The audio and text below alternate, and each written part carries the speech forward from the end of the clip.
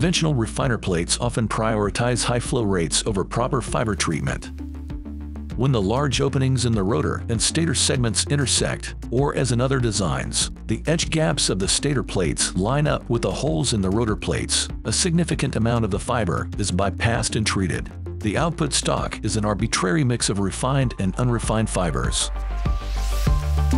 Andritz TrueFlow refiner plates ensure comprehensive and thorough fiber treatment. The innovative design forces the complete stock to pass through the refining zones with a uniform distribution of the refining forces, maximizing fiber engagement. As a result, you get both the highest flow rate possible and a truly uniform stock with flexible and highly fibrillated fibers for maximum bonding capability, which is key to meet the quality standards of your end product. With Andritz TrueFlow you get it all. Truly uniform fiber characteristics. No more bypassing of stock best pulp quality for your end product, and optimized capacity.